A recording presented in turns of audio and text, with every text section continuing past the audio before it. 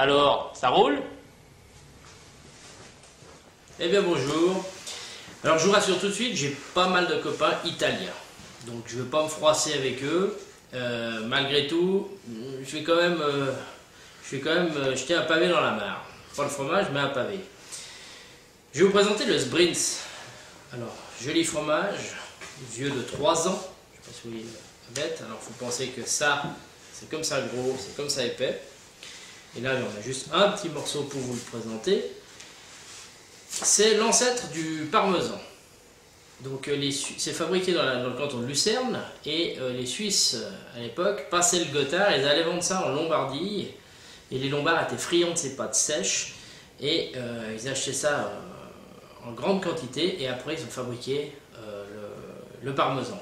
Donc c'est un des plus vieux fromages suisses recensés et c'est plus vieux que le parmesan. Alors la seule différence c'est que le parmesan est un fromage écrémé à 33% de matière grasse Tandis que ça, c'est un fromage entier. Et il faut quand même 3 ans pour avoir une belle pièce et bien sèche, parce que ça vieillit dans des caves euh, sèches. Au contraire, avec un gruyère qui sera vieilli dans des, caves humides. Alors, euh, idéal sur des carpaccio, idéal sur, euh, sur de la salade de roquette, j'en passe et d'autres.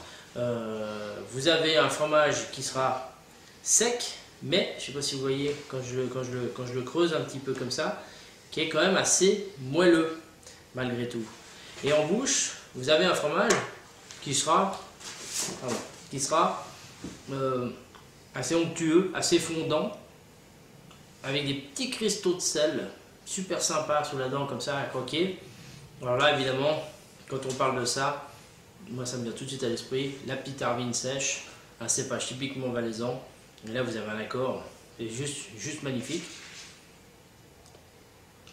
et beaucoup, beaucoup, beaucoup d'arômes.